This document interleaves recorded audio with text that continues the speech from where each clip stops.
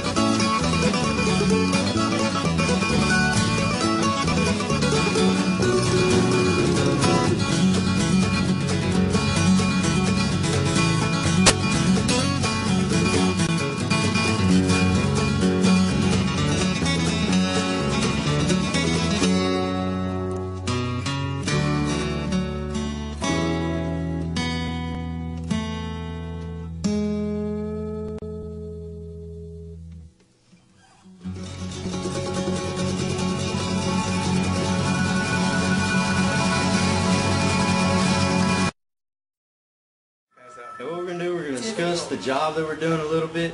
Ask if you can think of it. TexLa Wildlife. Any kind of question you can interrupt. Before we go to work on a property, we always have a pre-project meeting. These meetings are real important. It kind of gets us all on the same page and lets us know what our individual jobs are. So we're ready to go to work in the morning. I enjoy the meetings. We get a lot accomplished, and we also have a good time. When we're done with the business aspect, you know, it's, it's nice to get around with, with your friends, play some dominoes, play some music, have a good time.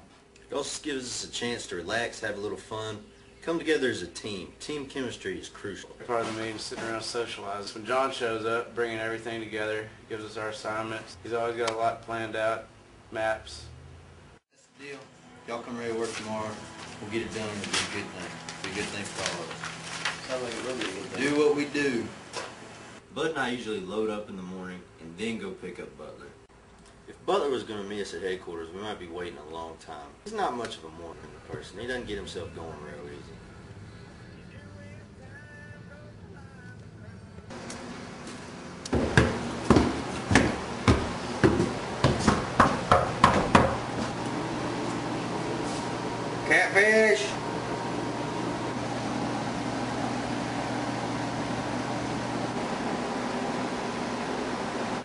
Yeah, you know, sometimes, I admit, it takes a little bit to get me going. Christopher! Ten minutes. So, I'm doing it. All right. We can't come in for ten minutes? Good morning, Chris.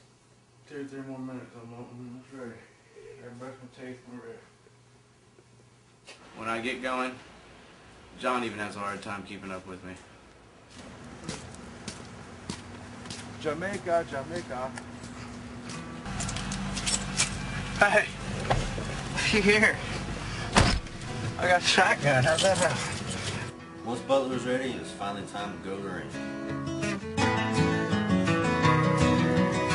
On our way out to Crockett, we had a chance to discuss the deer blind designs with John and Bud.